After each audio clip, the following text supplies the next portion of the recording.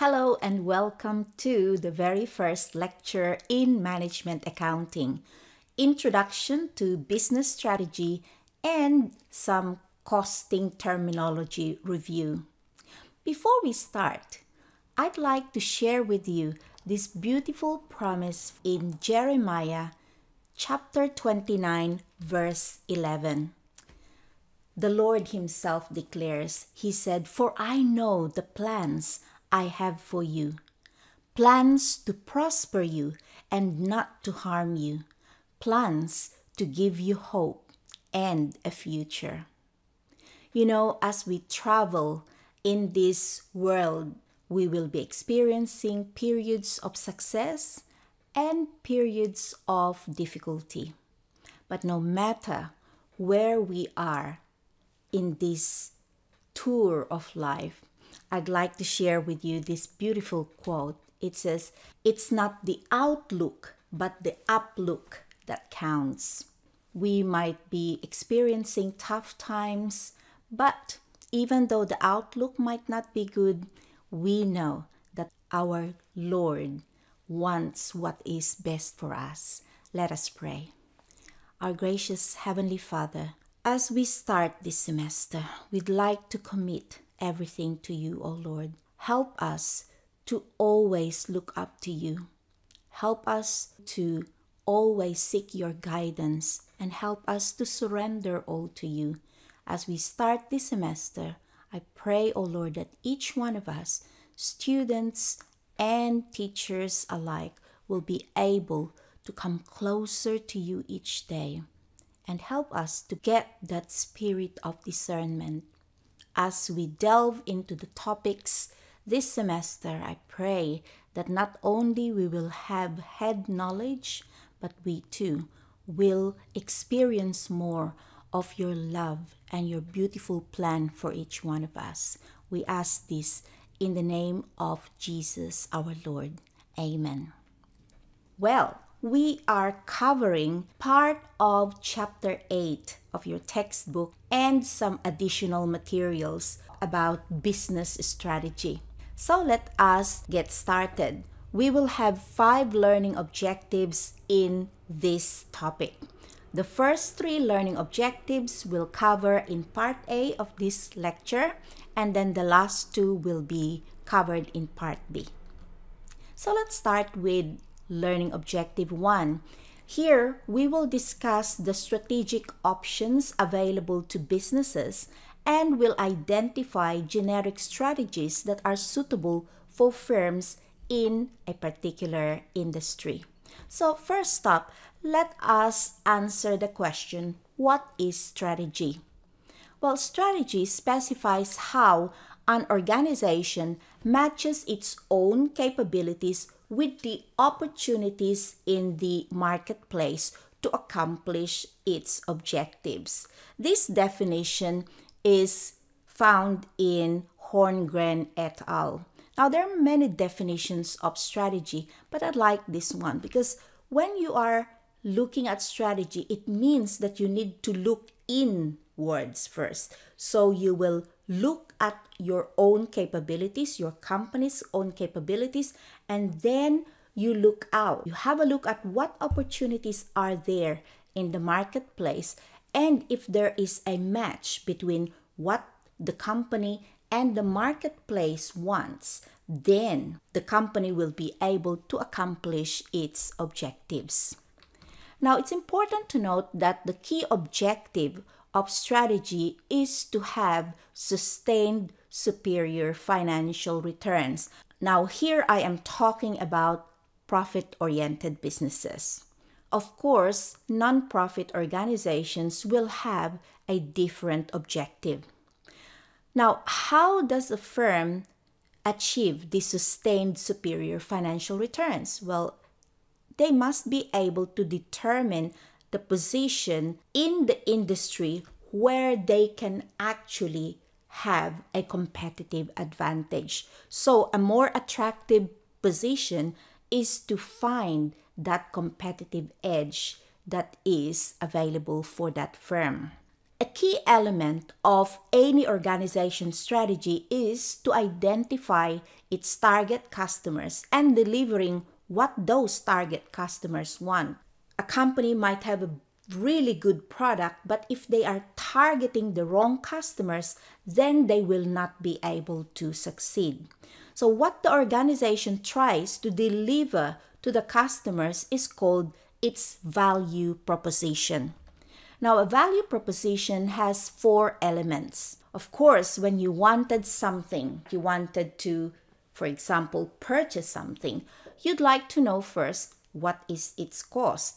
You would like to know whether you can afford that particular product.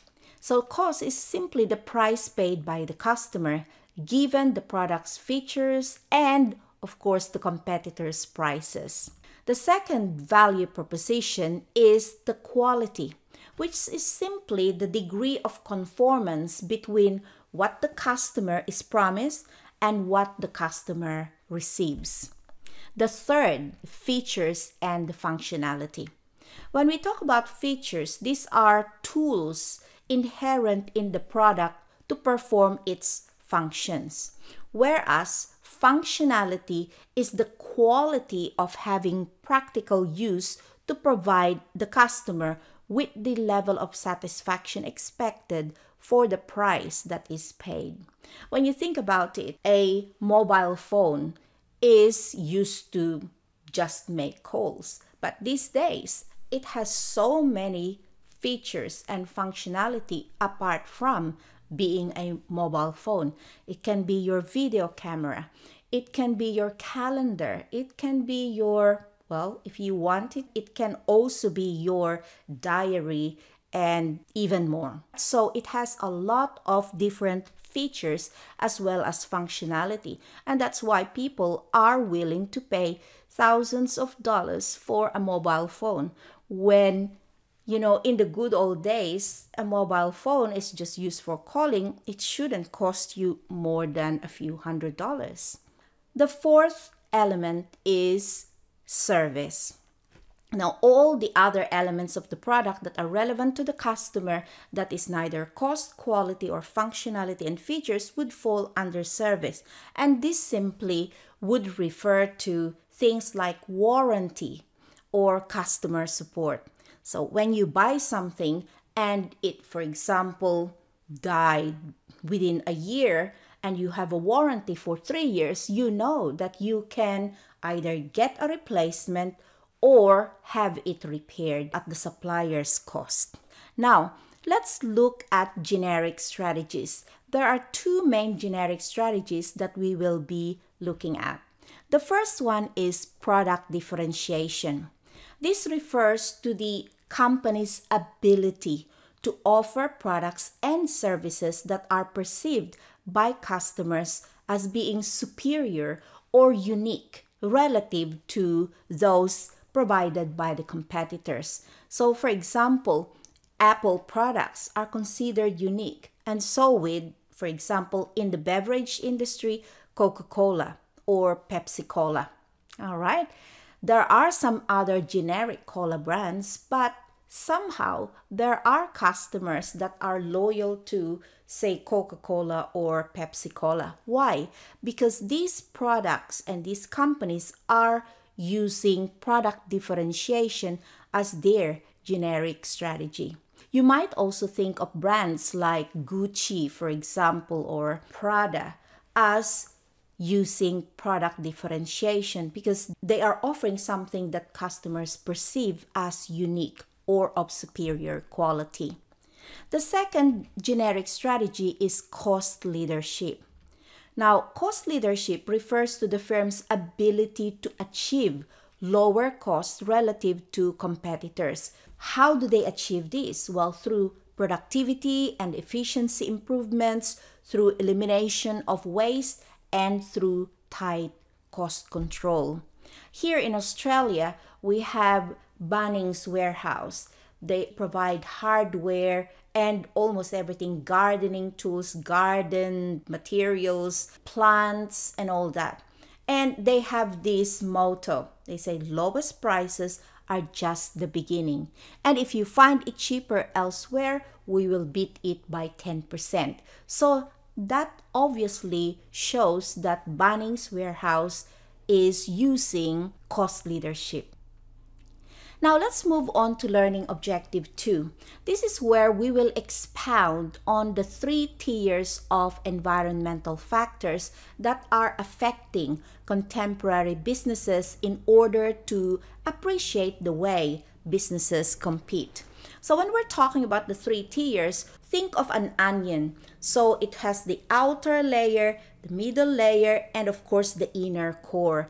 And so you can see that these three tiers of environmental factors actually have that. The outer layer would be the factors in the remote environment. The middle layer will be the industry analysis and the inner core will be the factors in the operating environment. So far, what we've done in learning objective one is to focus on the firm's strategy. But the big question is why do we focus on strategy? And the simplest answer would be that it's because there is no single company that exists in isolation.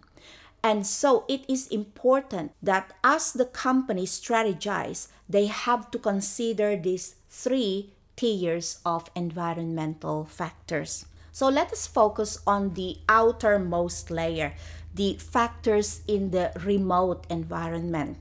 This comprises factors that originate beyond any single firm, including the international environment. It includes such things as economic factors, when there is an increase in interest rate, for example, inflation rate, the gross national product GNP, and when there's a change in unemployment rate, those would definitely affect any company. The second is the social factors. This would include beliefs, values, and lifestyles developed from religion, education, cultural, demographic, ethnic, as well as ecological conditioning. The third is political factors. So, whenever a new government takes over after election, for example, these governments will be introducing some tax reforms, fair trade laws, maybe the minimum wages will be adjusted upwards, and it might even include pollution and pricing legislation. Remote environment would also include technological factors. Technological factors definitely impact the companies. The key to beneficial forecasting of technological advancement lies in accurately predicting future technological capabilities and their probable impacts. Think of companies that have become obsolete because of technological advancement. You might have heard of the company called Kodak. They used to produce films, but now that all photos are digital, there is no need for films. And so the company has just gone into oblivion because of the technological advancement. Ecological factors is also under the remote environment, and this may include environmental legislation as well as eco efficiency. There are now many technological advancements that would help to make companies become eco efficient. For example, in terms of carbon sequestration, many companies are now doing something in order for them to reduce their carbon emission. So, ecology simply refers to the relationships among human beings and other living things, and it also includes the environment, the air, soil, and water that supports human beings and other living things. Now let's move on to the second tier of environmental factors, and this is where we will spend quite a bit of time. Industry environment pertains to the general conditions for competition that influence all businesses that provide similar products and services. So, those companies that are offering similar products and services will belong to an industry. Now, the framework that is used in industry analysis is the one that is introduced by Professor Michael Porter. So there are five forces in this framework. So you will see right at the middle is the competitive rivalry within an industry. The other two sides of the horizontal aspect are the bargaining power of suppliers and the bargaining power of buyers, and the vertical shows the threat of new entrants and the threat of substitute products. Let's look at the middle part, the competitive rivalry within the industry.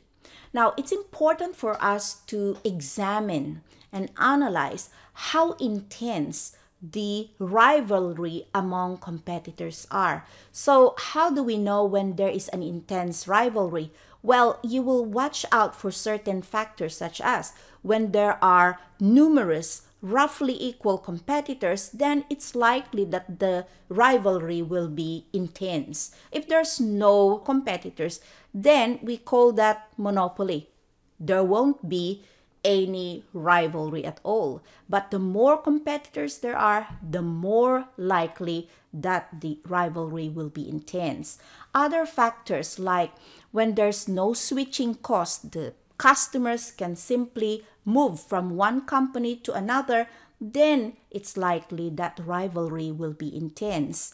When the industry you are in, for example, in the airline industry, the fixed costs are really high, then there is a strong temptation to cut prices, particularly when there is off peak season. That's why during off peak season, you will see that the prices of airfares can be really low. Also, when the rivals or competitors are really diverse in terms of their strategy, in terms of where they are originating, whether in China or whether in Germany, each of these companies with different strategies and different origins or personality might compete in different ways. And so there will be an intense rivalry.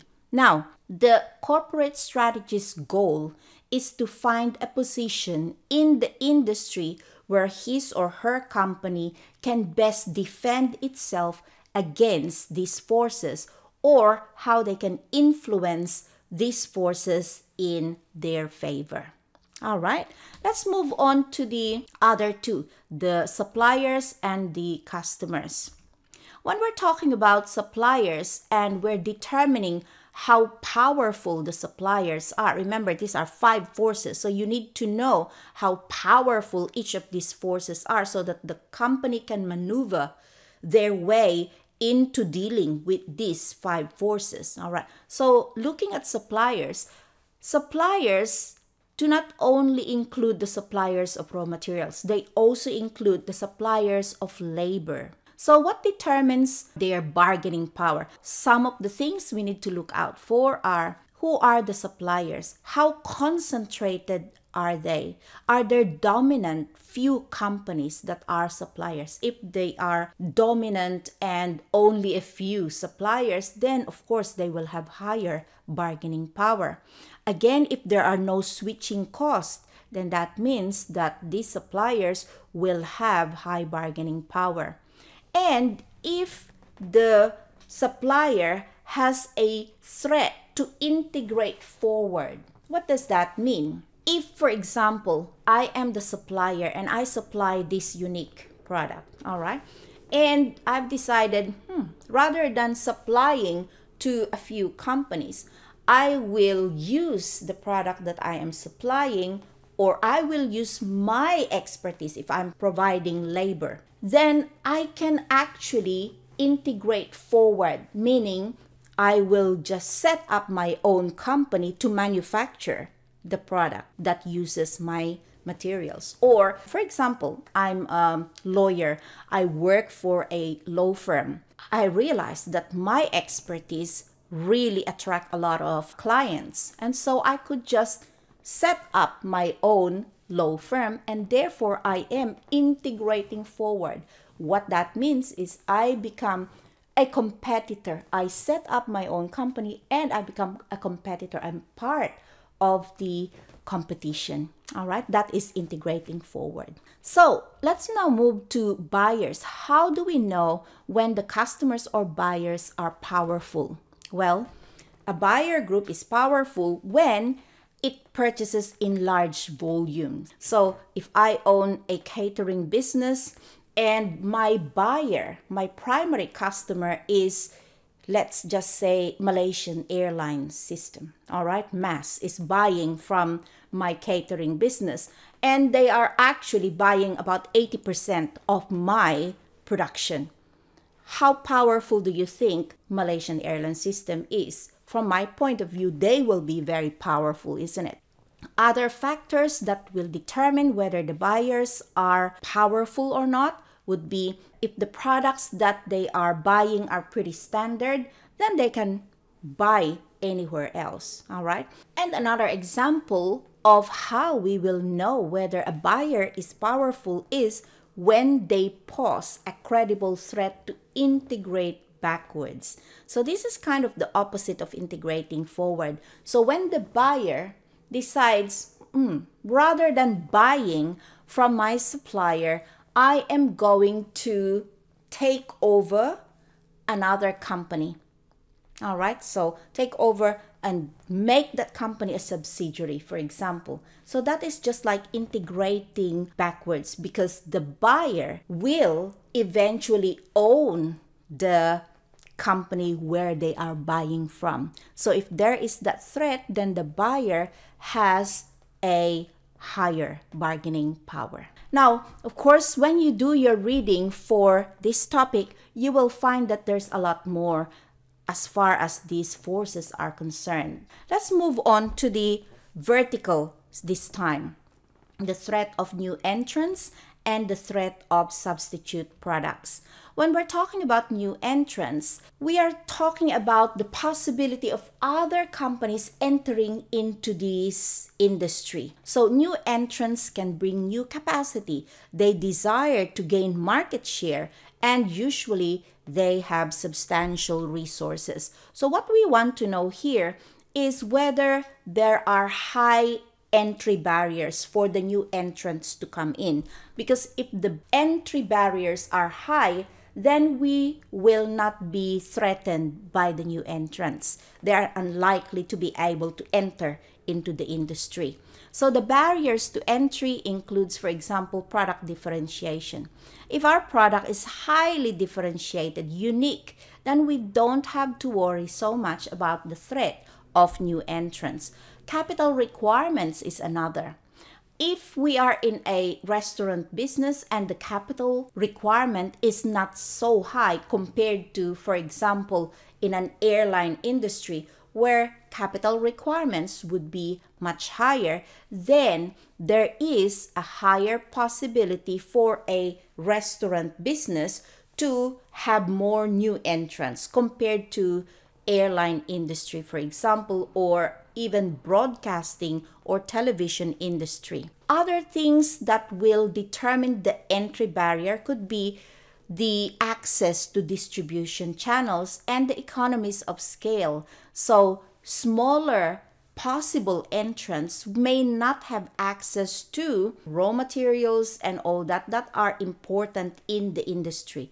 They might not be able to enjoy economies of scale because they might be small in terms of their buying capacity and government policy.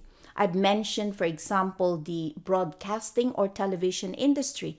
This is an industry that is difficult to enter mainly because of capital requirements and government policy. The government will not easily issue license to operate a radio, for example, or a television channel. All right. So in this type of industries, new entrance threat will be minimal. Let's move on to the substitute or equivalent products. Now, when there are many equivalent products, they pose a big threat to the industry. And so these substitutes will limit the profits during normal times and they would also reduce the bonanza that an industry can reap in times of boom. All right, let's make sense of these five force analysis by looking at the television industry. I'll give you an example of the TV industry here in Australia. Let's start with the competitors. How intense is rivalry among the industry participants? So first, we will identify who are the main competitors. So for example, are we limiting our analysis to free-to-air TV or we are also including pay TV? All right. And should we also include radio? Perhaps not, if we are focusing on television industry. But even within the television industry, we can just focus on free-to-air TV rather than including pay TV. Some questions we could ask would be, how do these companies in the television industry compete for the advertisers? Do they look at the content? Or the pricing or the coverage or the ratings? And the answer is actually these companies in the television industry would be competing for advertisers in all these areas. So, content, for example, they would like to get contents that will be highly rated. That means the viewers will watch in order for them to lure advertisers because their main source of income, particularly for free to air TV, would be the advertisers. For pay TV, the subscribers will be one source of income, but also the advertisers. Here in Australia, for example, we have Channel 7, we have Channel 9, Channel 10, and we have two government, semi government operated channels that is SBS and ABC. So five different channels and the rivalry among these five different channels is really quite intense. Let's look at the threat of potential entrance. All right, we've already mentioned earlier that in the broadcasting industry, there are significant entry barriers. For example, the access to broadcast license will be very tightly controlled by government regulations. So it is almost impossible for a new company to get a broadcasting license. As a result of that, the threat from new entrants would be minimal. All right.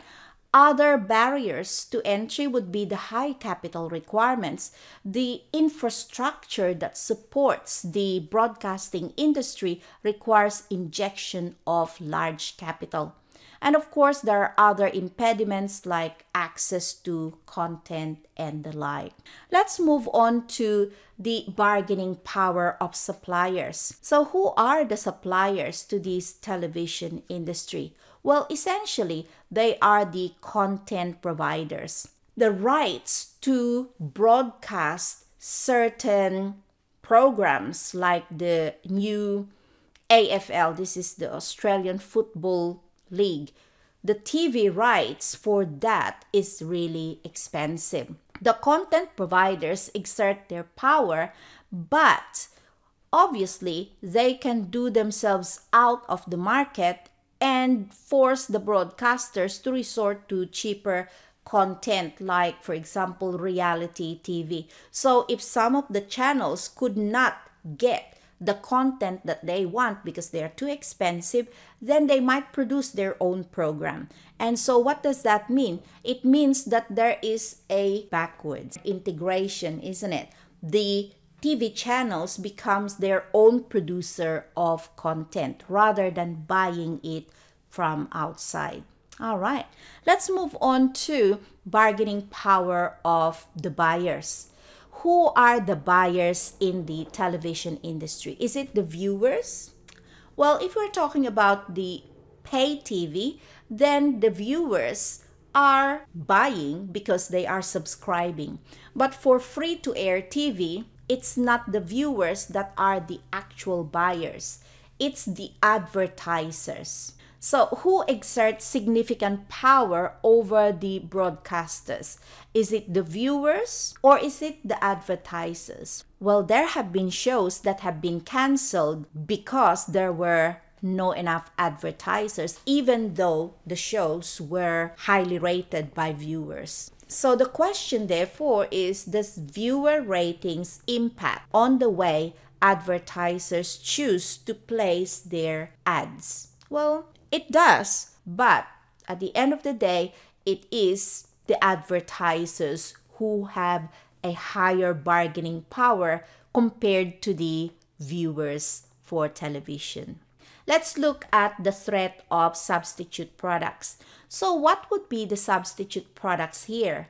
Well, if we are focusing on free-to-air TV, then pay TV would be a substitute.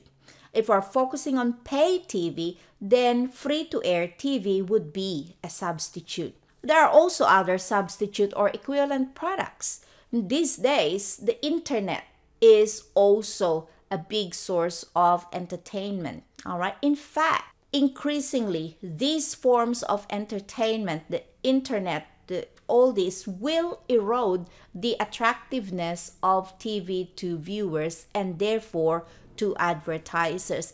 And it's already happening or has already happened. Most of the television channels these days are also showing their content on the internet and they're also showing advertisements via the internet because nowadays people would like to watch the shows whenever they are available. And so the internet becomes the shows on demand. When I'm available, then I can watch the show and there are also advertisements there. So you can see that this is one way of actually looking at industry analysis. And the purpose of understanding and examining the five forces is to know how can the company, the company that you are strategizing, how can they maneuver their way and react to these forces to have that sustained superior financial returns. That's the key element of strategizing. All right. I'm just giving you here in this slide another picture of the five forces and there are so many other determinants of for example entry determinants of rivalry determinants of supplier and buyer power and determinants of substitute threat. So that when you read the materials for this week you are able to see oh that's how the determinants of entry will be explained now let's go to the core of these three tiers of environmental factors, the factors in the operating environment. So here, we are looking at the factors in the immediate competitive situation that affect a firm's success in acquiring their needed resources. You might ask, what's the difference between the factors in the remote environment and the factors in the operating environment? Well, the main difference is this. The factors in the remote environment is beyond the control of the company. The factors in the operating environment is controllable by the managers of the company. This operating environment is also called competitive or task environment and it includes the competitors' positions and customer profiling based on these factors. Number one, geographic. So where are the targeted customers located? That's geographic. Demographic. This has to do with the age, the gender, marital status, and the like of their targeted customers. Psychographic looks at the personality and the lifestyle variables. And finally, the buyer behavior. This has to do with the usage rate, the benefits sought, and the brand loyalty of their targeted buyers. So, an understanding of these three tiers of environmental factors can help management accountants in their planning and control systems. And this is why it's important for management accountants to have an understanding of the business strategy as well as the three tiers of environmental factors that we covered here. All right, so now let's move on to the third learning objective, and this is where we'll understand how management accounting information relates to strategic choice and we'll have an appreciation of the varied roles of management accountants. Now, when we're talking about implications for management accounting, we can see that as management accountants, we get to know about budgets, we've got to know about accounting systems, and how we can evaluate the performance of the firm. So, management accountants can use the information about the appropriate generic strategy that is chosen by the company in order to formulate the plans that is used in the preparation of budgets. In terms of control, the accounting systems could be designed to highlight the differences between the planned objectives and the actual outcomes so that corrective actions can be taken. And in terms of performance evaluation, the comprehensive coverage of all activities can provide relevant feedback. Now, it's important to remind ourselves that the role of management accountant is not just limited to scorekeeping or attention directing, but it's also problem solving. In fact, problem solving is one of the most important role of management accountants. And as management accountants, we are not limited to one type of problem. We need to be able to tackle different sorts of problems and this is why management accounting techniques are really useful. So in summary, management accounting supports managers in strategy development, implementation, and evaluation to achieve sustainable competitive advantage. All right, we will stop here for a while and we will continue with the last two learning objectives in part B of this lecture. Bye for now.